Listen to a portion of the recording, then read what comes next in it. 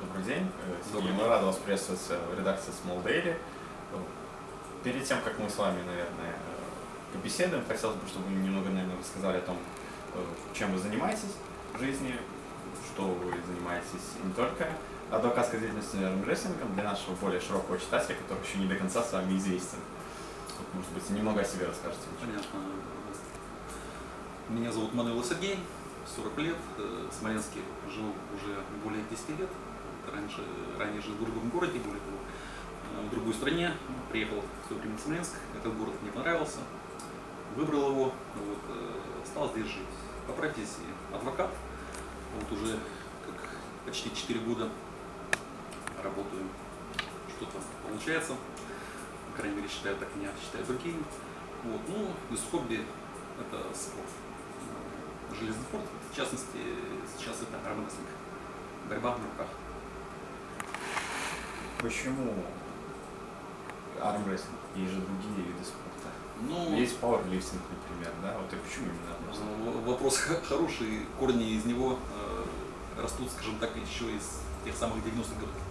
Тогда э, в видеосалонах э, был популярный фильм «Изо всех сил», в главной роли э, Сталлоне. Посмотрел, ну, понравился. Мотивировал, вот и итог такой до сих пор. И сколько лет вы уже занимаетесь? А, Самые первые соревнования это были еще когда учился в школе, последний класс, э, 93 год. Тогда первый раз вышел за стол, ну, никак. Успехи были ни- никакие, ничего, не занял даже никого тогда и не выиграл. Вот, ну, стал заниматься в дальнейшем уже с 95 года пошли более-менее успехи. То есть выиграл чемпионат области, на первенстве страны был призером. Далее Как готовится к соревнованию армрестлер? Он день и ночь сидит с гантелей э, в руках и там не спит, занимается, или спит только занимается, там, ест мясо, получает белок э, от этого и продолжает заниматься? Или вот в чем заключается сама подготовка армрестлера? Ну, сама подготовка в основном, конечно, это в идеале борьба на руках, то есть э, с кем-то отрабатывать технику борьбы, вот, различные виды нагрузки. Но если этого не получается, просто работа в спортзале, акцент на те группы мышц, которые задействованы в работе. Это пальцы, это предплечье, это мышцы рук. Каким образом можно тренировать пальцы? Какие это упражнения? Ну, если самое простое, покупаешь теннисный мячик или любой кистевой спандер и сжимаешь его. И просто вот так вот час- часами можно просто нажимать? Ну, ч- можно часами. А, а желание. эффективнее как? эффективнее. Ну, из всего это, скажем так, самое комплексное упражнение на руки, на кисти, на пальцы – это канат. Банальный канат, который есть э, в любой школе, вверх, вниз по нему лазить. И та же идет нагрузка. Это если нет э, иных вариантов. То А есть так, э, скажем, в арсенале армрестлеров очень много упражнений, самых разных. То есть там и с спандерами, это и жгуты резиновые, это и гантели, это и штанги, это опять же та самая борьба на руках. Если заниматься этим профессионально, то сколько времени, например, в неделю нужно этому отдавать? У кого как, э, у всех по-разному. То есть в среднем от двух до четырех до пяти тренировок в неделю. А по часам это сколько одна тренировка длится? Ну, от часу до двух, опять же, это строго индивидуально. Скажем, кто как переносит нагрузку, у кого какая пред- предрасположенность. Не мог э, не заметить в ваших социальных сетях фотографии э, согнутых гвоздей. И там подписано, что выставляете так во время работы, во время вашей основной работы адвокатом. Бывает. Это вот так, таким образом вы э, со стрессом боретесь? Ну, просто хобби, скажем так. То есть прошло какое-то дело, например, да, слушание, да. Вот вы потом зашли в свой кабинет, собственно, и чем-то недовольны, начинаете гнуть. Нет, не, не обязательно просто по настроению.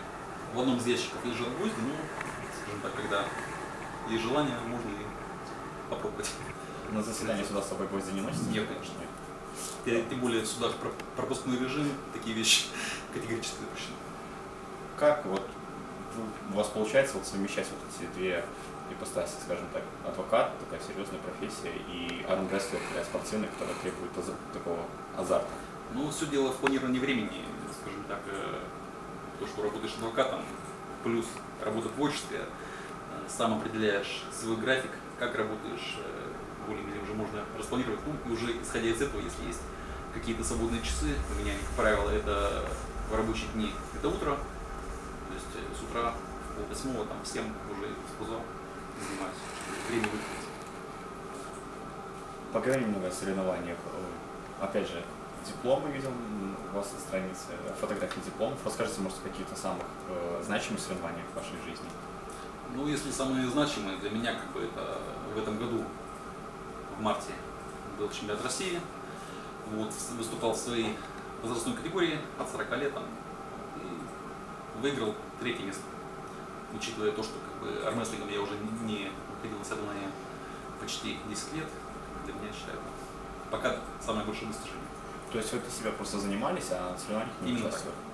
И даже в Смоленской области не Э? В Смоленской области армрестлинг практически не развивается. То есть есть э, ребята, ну, не- неравнодушные, которые занимаются этим видом спорта, вот, но, к сожалению, их не так много, и какой-то организации сейчас у нас нет. Ну, а как вы считаете, по какой причине? Потому что вроде бы в тренажерный зал ходит немало людей. Э, Спорт не развит. Ну, как таковых залов по армрестлингу в Смоленске их нет. Они специфически должны быть, эти залы. С- Обычно, как правило, это простой тренажерный зал, просто в котором есть э, Столы. один, два, три стола по армрестлингу. То есть этого, в принципе, достаточно, чтобы В принципе, да.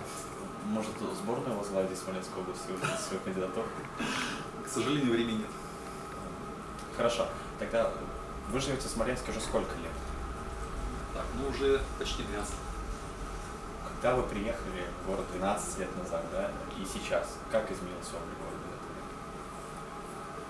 Ну, как автолюбителю, я скажу, стало больше машин, намного, то есть э, в городе те же появляются пробки, когда приехал. В 2005 году, помню, машин было очень мало. Как надо говорить. Ну, а город, он развивается, ста- становится все-таки лучше. Думаю, процессы будут продолжаться. Ваше любимое место пожалуй, ря- рядовский парк.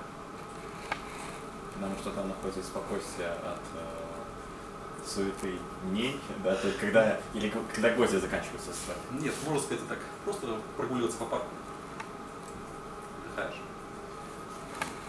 Скажем так, а вот вы сказали, что, возвращаясь к соревнованиям, вы сказали, что нет спортсменов, ну, или не хватает спортсменов. Спортсмены есть. То есть не хватает профессиональной какой-то организации для этого. Да, то есть э, в данном случае должна быть э, организация, то есть э, федерация по армрестлингу, должна быть аккредитована, там куча документов собирать, опять же, должно быть соответствующее финансирование. К сожалению, не все могут там, себе это позволить каким-то образом вкладываться. То есть чи- чисто такие причины организационные, А, то есть то, что вы участвовали в чемпионате России, это все за собственный счет. конечно. Э, Видел у вас фотографию, опять же, вы выступали э, в форме Тульской области, если не Да. Это вот как от, от, от одного региона или как получается? Нет, э, вот именно это, опять же, та же ситуация. Федерация армрестлинга России, у них требования очень жесткие, что если ты выступаешь на первенстве России, э, соответственно, ты должен быть включен в состав какой-либо из команд. Э, Поскольку в Смоленской Федерации армрестлинга нет, тем более аккредитованной, а, поэтому я выступил за команду Тульской области. Что бы вы могли пожелать людям, которые вот хотят пойти не по стопам адвоката, в первую очередь, а вот по стопам именно армрестлера, который э, ну, просто может хотят себя привести в форму, а потом заняться этим видом спорта? Для начала, как минимум, пойти в зал и заниматься. А, Еще можно что-нибудь. Это все. То есть все, все, все зависит только от личного желания и силы человека. Естественно, об этом еще сказал э, знаменитый наш штангист Юрий Власов. То есть, э, хоть малыми тренировками, но постоянно, не бросать, постоянно держать себя в. Это основное. Держать себя в форме, прекрасно. Но чтобы э, гнуть гвозди, нужно что-то, наверное, больше. Вот как вам удалось этого достичь? Ну, здесь просто идут э, определенного рода специальные упражнения на мышцы. И это На вот, кисти. э, пропишешь в поиске в интернете, например, да, там, хочу погнуть гвозди, и там себе список комплекс упражнений выскочит. Э, Есть специальные сайты а, именно для тренировки силы хвата. Говорить не буду, это уже реклама будет. Можно их найти, там на самом деле десятки тренажеров различных на любой вкус, кому что понравится. Кто-то любит гнуть гвозди, кто-то рвать карты, кто-то просто там ломать железо. Так что вариантов очень много. То есть всему этому можно научиться, но для этого достаточно, в принципе, как сказали, одного каната, например, да? Как минимум Как каната, минимум. да, достаточно. А занятия на перекладине, брусьях, Перекладина брусья, они э, развивают всю руку, но там идет более акцент как бы, на бицепс, трицепс. Кисти не так задействованы. Потому что именно основная нагрузка при работе э, с теми же гвоздями, это идут кисти рук, пальцы, предплечья. травмы он получали когда Конечно. И что, пред- предплечье выращивали, что? Нет, э, травмы это при борьбе на руках. Э, Обычно это травма у всех борцов практически. Это локтевой сустав. Потому что на, нагрузка. Да, очень э, большая идет нагрузка, и после борьбы руки, правило, болят. Поэтому приходится отдыхать неделю-две как минимум. Сколько можно схваток провести за минимальный короткий срок? Минимально короткий срок это сколько? Ну вот, например, там, за час сколько можно схваток провести? Или только а, вот от- такая на максимум схватка будет одна только в час? Э, В зависимости от, того, какой будет соперник. Условно говоря, если борешься с детским садом, можно там и 100 детей положить. Можно с э, одним соперником побороться и уже дальше Вот на уровне чемпионата. России сколько вот, вот схваток провели, когда вы участвовали? У меня было 4 схватки, там было 12 человек. Опять же, армрестлинг это такой вид спорта, очень много зависит от жеребьевки. То есть э, бывает такое, когда два очень сильных спортсмена по жеребьевке, они буквально в первой же в первом круге друг с другом становятся, поскольку они оба примерно равны по силам, борьба идет э, довольно долгая, оба изматываются, и бывает такая ситуация, что они оба изматываются, фактически сил продолжать борьбу уже нет, выходят дальше, и рука буквально сама дается. И в итоге занимают места выше их те, кто по факту слабее. Просто вот так повезло. Вот вы 10 лет не участвовали в соревнованиях, приехали, наверное, вы там знали вообще кого-то из соперников или нет? Или так? Кого-то я знал, ну это нет, не своих соперников, просто были знакомые люди еще из тех же 90-х, когда выступал. То есть все те же самые, то есть? Нет, ну, не ну, все, Некоторые э, из них. ос- осталось очень мало, к сожалению, но люди есть. То есть вот приехали с таким ощущением, ну, серьезный соперник, то есть увидели этого соперника, поняли, наверное, и для себя уже сразу выводы сделали. Нет, тут э, уже есть такой опыт, что выводы делать э, перед сторонами бесполезно, просто настраиваешься на борьбу, кто бы ни был напротив. Вот. Для того, чтобы совмещать две, две специальности, специальность адвоката и специальность, э, не специальность, не хобби армрестлера, что нужно еще кроме того, как свободное время? Время и желание больше То ничего. есть, опять же, все, все вот на этих группах. Конечно. Может, он по жизни когда-то помогал, то, что вы занимаетесь армрестлингом? Чисто хобби. Ну и плюс, э, благодаря ар- армрестлингу, опять же, какой-то круг знакомств расширяется, новые контакты. Иногда это помогает. Может, хулиганов там гонять по улице? Нет, не случалось такого.